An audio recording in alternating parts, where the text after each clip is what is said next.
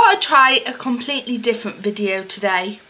You all know how much I like The Sims, so I thought I would stretch myself out of my comfort zone and try a Sims 4 speed build. Please bear in mind that this is the first speed build I've ever done and that my building skills are not brilliant, but I had fun building it and I hope you enjoy.